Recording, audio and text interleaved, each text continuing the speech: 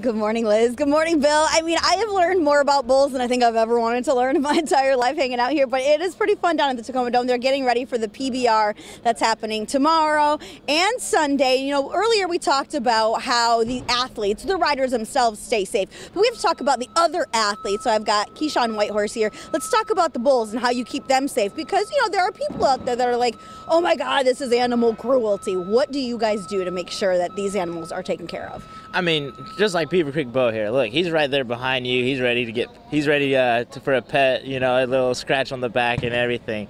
Uh, you know, they're really well taken care of. Their trailers are safe. Uh, their tra- some of the trailers actually have climate control. Some of the trailers, and then the feeding program's uh, great. They have a high protein feed. It keeps them healthy and in shape. They work out every single day uh, and you know as an athlete they're athletes as well but the thing about this sport is it's a both sides sport so they got to be really taken care of in order to buck hard and so we can get some big points on them uh, these uh, these bulls are worth a lot a lot of money just like race horses and such uh, they're worth thousands and thousands of dollars so they they get really taken care of and uh, every single day they're loved on and everything so they're great animals. Yeah, and between the segments that we've been doing all morning, like you've been here petting them, people have been coming up and petting them, and you're saying hi and you're talking to them. The last segment I had on your spurs, and I was very surprised to see that those spurs weren't pointy. In fact, they were very dull. Is that the right word? Yeah, very dull. Uh, they're all the only thing is there is just kind of help you get a little grip. You know, there's no need to have them sharp. That's gonna all that's gonna do is cut them up, and it's just gonna not. It's not gonna be very good for the, the for the bull.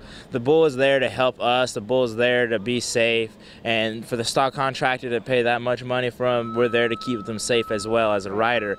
And so you know, all that's there for is just kind of help your feet kind of get a hold, so you stay in the middle of the bull's back. They're all uh, they've all been expect, inspected by the judges and such. So the the you know you get disqualified if your spurs are been tampered with or and such, and you get a fine. Yeah. So as an athlete and a rider, you don't want to get fined. You don't want to be get disqualified. Right, right. So uh, you know.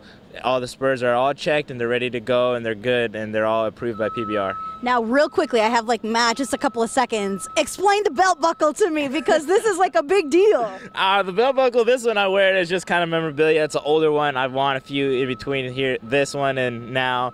But uh, it's what we all achieve and aspire for, you know, as riders. It's uh, something that that's a pinnacle of things. Whenever we win, that means that we did good. It's just like getting a trophy in the NBA. For us, that's what we wear. We wear it around. Yeah. We uh, enjoy it. We enjoy showing it off. Man, well, congratulations on that buckle. Hopefully, Keyshawn gets another one. You can check him out at the Tacoma Dome. PBR happening Saturday and Sunday. Bill and Liz, back on over to you. Yeah, and you know who has done what by the buckle that they're wearing. That's that's uh, quite a feat. Yep. Ellen, thank you.